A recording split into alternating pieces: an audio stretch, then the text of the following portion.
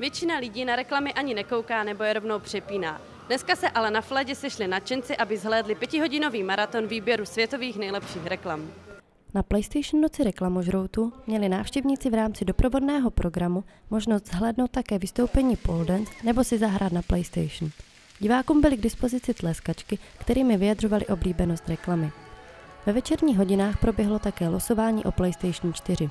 Po programu následovala afterparty s DJem. Tak já jsem pravidelným návštěvníkem, už jsem tady po třetí nebo po čtvrtý, takže takže tohle to, taková ta setrvačnost. Tak minulý rok to bylo trošku slabší a ty reklamy byly jako nic moc, ale některý, jako jedna z deseti byla fakt dobrá. Takže proto no. A doma koukáš na reklamy nebo je přepínáš?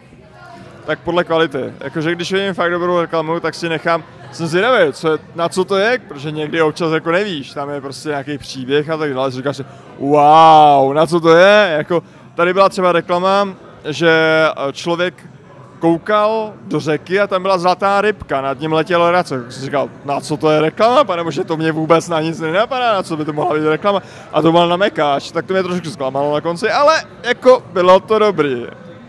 Tak já chodím na rod reklamožlouty docela pravidelně, že jsem párkrát byla a líbí se mě reklamy, protože si myslím, že jsou prostě odrazem společnosti a dá se tady vidět eh, v podstatě to, co v televizi neuvidíte, takový ty nekomerčnější kousky.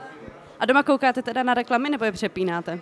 Já nemám televizi, takže asi nekoukám moc na reklamy, ale vždycky, když někdy cestuju do zahraničí, tak to je jediné, co mě zajímá jako v té televizi, protože prostě, jak jsem říkala, je to odrazem prostě toho společenského dění a to, co se v tom státě děje, takže určitě.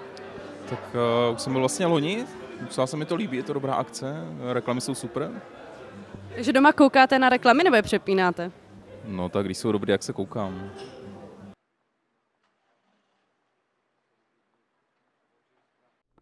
Pro Muni TV Lucie Straková.